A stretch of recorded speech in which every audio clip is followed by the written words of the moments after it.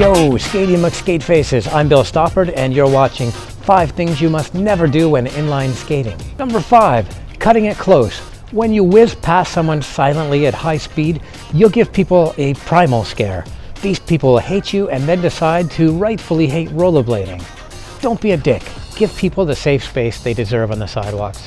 Number four has to do with holding hands. Get t-shirts that say he's mine or she's mine if you can't let go for just a few minutes. Good balance requires free hands. I've seen a boyfriend drag his girl to the ground before. Almost funny, but not. Okay, it was a little funny, despite all the blood. It was pretty bad. The number three thing never to do when inline skating is drunken skating. There's a lot going on with your foot movement, posture, and power application when skating. Even great skaters are many times more likely to twist a leg backwards, shatter an eye socket, or slide under a transport truck when under the influence. He left. The capabilities you trust normally just aren't there when you're drunk. Alcohol is kryptonite for bladers. The number two thing to never do when inline skating is texting or talking on the phone when rolling. Stopping for a text or a call will allow you to recover and skate even better when you resume.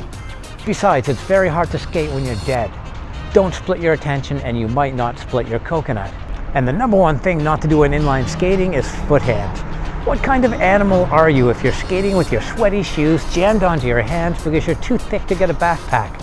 Stop it now, toe fingers. Nobody at your destinations likes your cheese hand and the foot oil smudged doorknob. It's not a nice touch either. Don't make our sport look disgusting. Yeah, I can smell you just thinking about it.